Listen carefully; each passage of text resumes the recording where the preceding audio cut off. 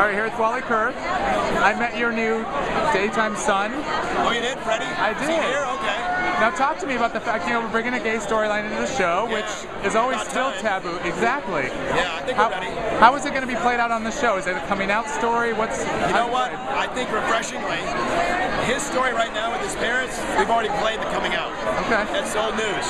We're at a point where we accept it. We've already gone through all that. So when he comes on the show, we know and no one else knows. Okay. So he sort of has to come out to Uncle Vic, all the other characters, but his mother and father, we've already gone through that, and we're on board and love him and Okay. accept him. And How's Victor going to take good. it?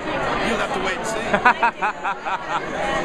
it's not bad. I mean, it's like, I mean, obviously he reacts, but it's not like, get out of the house, you know. Well, it seems like- crazy that it's 2011 and it seems like a big deal we're getting a gay character. Don't you agree?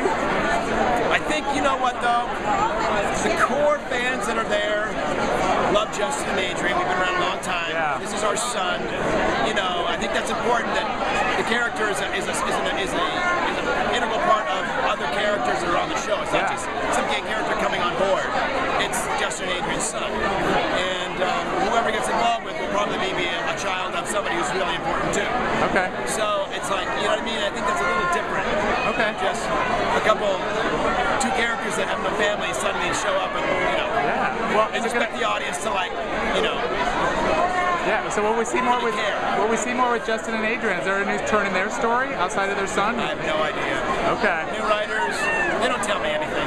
I'm just happy they keep sending me scripts. Well, we all love seeing you Thank whenever you show up. It's always appreciate great. that. All right. Thanks. Good to see you. Have fun.